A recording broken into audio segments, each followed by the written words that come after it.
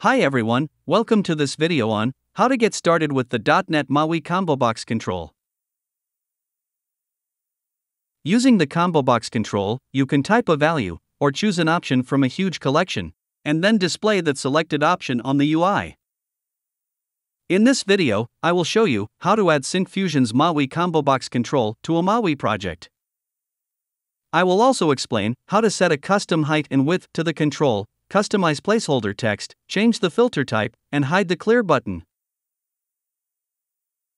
Before proceeding, make sure that you have one of the following .NET SDKs installed on your machine. You should also have an IDE installed with the required .NET MAUI workloads. With that confirmed, let's start building an app. I open Visual Studio and create a new project from the project dashboard. From the list of project templates, I choose MAUI app and name my project MAUI example. After that, I continue with the .NET 7 framework and click Create to complete the project creation. Alright, my default application has been created, so let's check the MAUI application's default output by running it. Before that, I choose the Android emulator from this list and select a Pixel 5 emulator in which to see the output. The application is compiling the default code, so let's wait for a few seconds. Look here, my application says Hello World, welcome to MAUI app. Okay, now let's initialize the MAUI Combo Box control. First, I need to install the Syncfusion MAUI Inputs NuGet package.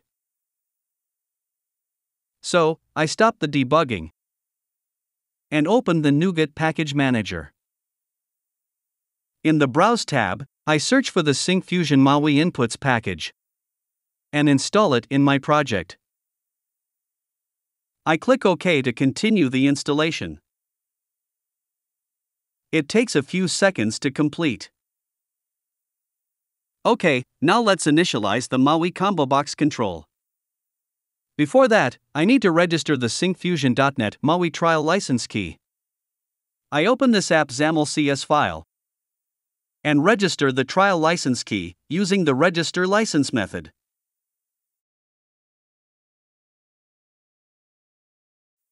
To generate this trial key, refer to the link in the description below. Next, I will initialize the control. First, I open this main page.xaml file and remove the default content from the content page section.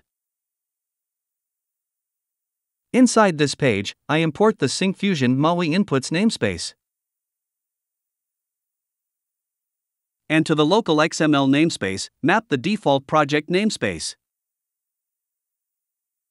And I include the MAUI combo box control here. Next, I need to register the handler for Syncfusion Core to map the cross platform control API to the native view API.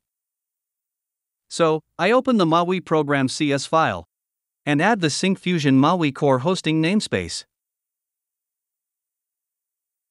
Then, I register the Syncfusion Core handler by making a call to the method configure Syncfusion Core. Okay, next I am going to populate the data for the combo box. And let me implement this with the MVVM pattern. First, create a folder called Model and add a class named Data Model. Here, I make this class public and define the fields name and ID with appropriate data types. Next, let me assign values for these fields. To do that, first I create a folder called View Model and add a class named Data View Model. Then, make this class public and define a bindable property called Social Media of Type Data Model class. And add a constructor for the class. Inside this constructor, to the social media property, I add the data objects with the fields, name, and ID. Once it is done, let me navigate to the main page.xaml file to bind the data to the ComboBox control. Here, I will add the binding context to the content page. And access the data view model class here, using this local XML namespace. Next, I assign the social media property to the item's source property. And set the height request property to 60 and width request to 250 to render ComboBox control within the custom dimension. Then, define display member path and text member path properties. And map the data source field name to select an item from the pop up list. Also, I define the max dropdown height property with custom value to set the maximum height of the dropdown.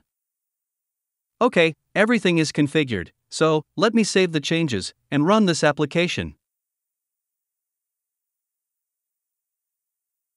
Look now, you can see the social media names are listed here, and choose an option from the list. Now, I am going to position the control at start, so add the vertical options property and set its value to start and expand. See now the combo box control rendered at start position. In this example, the control data source contains a list of social media names, therefore, let me define the property placeholder with the value, select a social media, which will be displayed in the combo box control as its description. Check now, the short description select a social media, displayed as its placeholder text here. By default, you cannot type the values in the text box. Suppose I want to make this ComboBox editable, then set the is editable property to true.